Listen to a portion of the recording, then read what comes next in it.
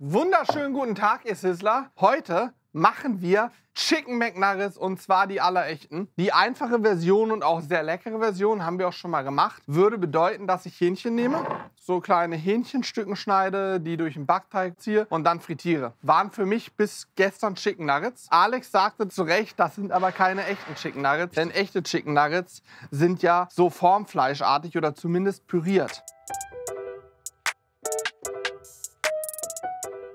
So, und ich schneide das jetzt nur in so kleinere Stückchen, um den Mixer gleich nicht komplett äh, zu überlasten. So ein Mixer ohne Kabel ist tatsächlich für mich was Neues. Da bin ich Ja, gespannt. Akkubetrieb. Das ist ein Multizerkleiner. Für Fleisch Stufe 1. Ja? Ja. Ich sag's mal so, wie es ist. Als ich eben meine Hand mit einem Küchentuch abgeputzt habe, habe ich mit der Maus, die dort liegt, den Ton deaktiviert. Das ist uns zum Glück aufgefallen, aber dafür fehlte der Teil, den ich hier gemacht habe. Deswegen nochmal, Hühnchen ist hier drin, ein Ei ist erstmal drin, äh, Meersalz ist drin und jetzt werde ich das ganze Ding mal häckseln und hoffe nach wie vor, dass das gut funktioniert. Let's go. Alter, Das Schwede. funktioniert aber gut.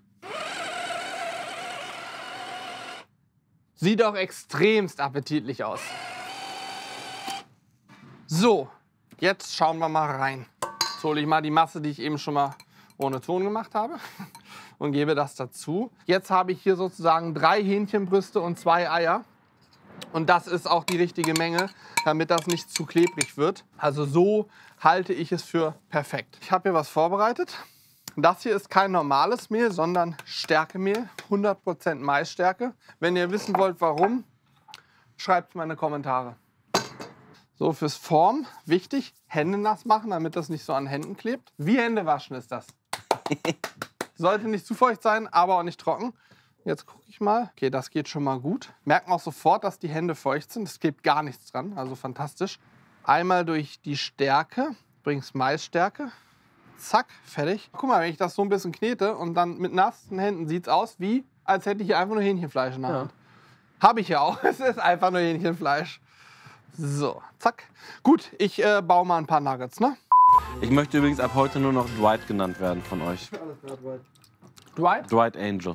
Also, ich habe sonst immer Jürgen die Schuld gegeben die Sauerei. Mittlerweile weiß ich, Ja gut, das ist mit dem Stärkemehl und so, da müssen wir gleich mal rübergehen. Krass auch, ne? Die haben Mais gegessen und jetzt machen wir hier Maisstärke noch ran. So, das reicht mir erstmal. Wir brauchen Backteig und wir machen einmal eine originale Version und einmal die spicy Variante. Ich habe mir hier irgendwo, hier habe ich mir Mehl bereitgestellt und ich teile das jetzt mal ungefähr 50-50 auf. Das sind 100 Gramm Mehl. Ich brauche jetzt dann ungefähr 50 Gramm pro Schale. So, das sollte passen. Jetzt kommt Senf pro Seite, nehme ich ungefähr einen Esslöffel. So, Originalrezeptur von den Fastfood-Ketten ist mit Barbecue Smoke Kick, wissen viele ja nicht. Hier drin ist Salz, Pfeffer, aber vor allen Dingen auch Knoblauchgranulat, Zwiebelgranulat. Und in den Originalrezepturen sind genau die Sachen auch verstärkt mit drin. Das haben wir auch ganz viel mit drin. Bisschen Rauchsalz. So, hier nehme ich äh, Magic Dust, Sizzle Up Magic Dust. Das wird die spicy Variante. Magic Dust per se ist jetzt natürlich nicht scharf. Zumindest hat es keine Schärfe, wo man sagt, oh Gott, oh Gott. Aber zu diesem Magic Dust mache ich jetzt noch ein bisschen äh, getrocknete Chiliflocken, so Chipotle, wie auch immer. Also hier noch mal eine gute. Ist das zu viel, Alex? Oder magst du es scharf? Du Ja, es soll ja spicy Super. sein, ne? Ja, du magst es scharf. Hast du im Prinzip ja schon geantwortet gehabt. Rein damit. So, und jetzt kommt noch Wasser. Diese 100 Milliliter Wasser muss ich jetzt auch ungefähr hälftig aufteilen. Okay, dann mache ich mal beide fertig. Guck mal einer an, du. Sieht aber schon sehr, sehr gut aus, finde ich. Ja, krass. Also hier, ne, das ist zu dick. Das ist ja richtig pumpig, das ist zu dick. Da kommt noch ein bisschen Wasser. Ich habe offensichtlich hier mehr Wasser drin gehabt als hier. Mehr Wasser, nicht mehr Wasser. So, ein bisschen Wasser noch mal rein. Und dann kann ich jetzt noch kurz aufs Öl warten. Wie gesagt, ungefähr 200 Grad sollte das Öl haben. Ich messe das jetzt noch ein paar Mal, bis es soweit ist. Und dann ziehe ich die Nuggets frisch durch den Backteig und rein ins Öl.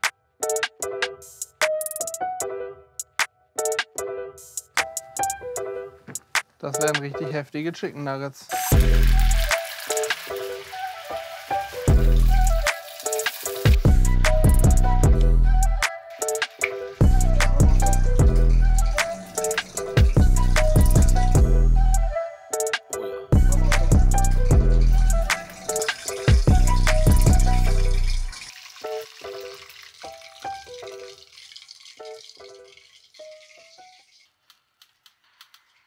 Es ist soweit und wir hatten ein bisschen Salat da, machen noch einen Chicken Nugget Burger ganz spontan. Chicken Nugget Burger ist auch ganz einfach.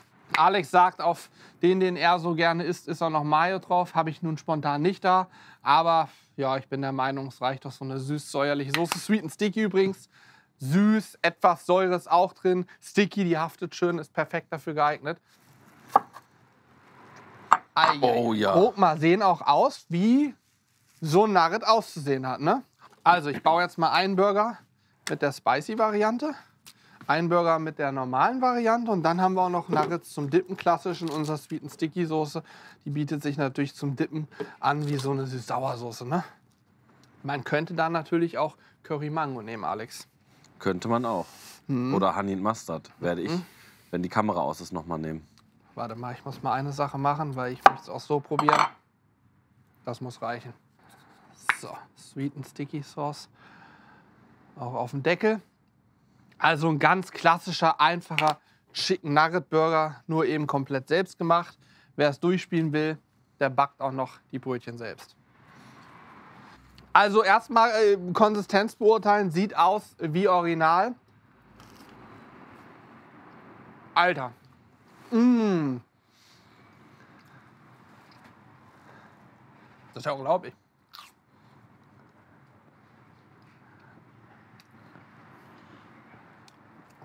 Also, ich weiß, dass hier 100% Fleisch drin ist und nicht 46%.